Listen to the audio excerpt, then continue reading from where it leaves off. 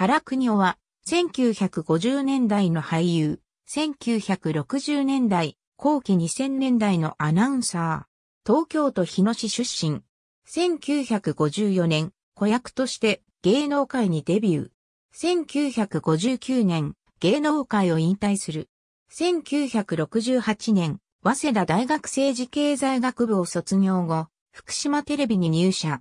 放送会入りし、この当時福島県に民放テレビは福島テレビ1局しかなく、同局で5系列の番組が放送されていた。父は東映プロデューサーだったことから小学3年生から約5年間子役として母随線、少年探偵団、月光仮面などに出演するが中学時に芸能界を引退。前述の早稲田大学ではアナウンス研究会にも所属。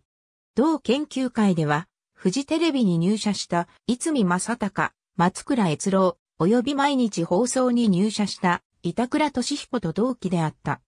また、同じく前日の福島テレビでは、アナウンス部長、アナウンス室参事補、福島県立展示図書館朗読奉仕者、養成教室講師も歴任。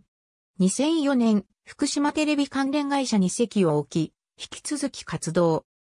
2008年6月6日、福島テレビ関連会社を退職、福島テレビのオープンネット時代、クロスネット時代を知る、在籍のアナウンサーとしては原が最後となり、福島県内の放送局のアナウンサーでは、最年長での退職となった。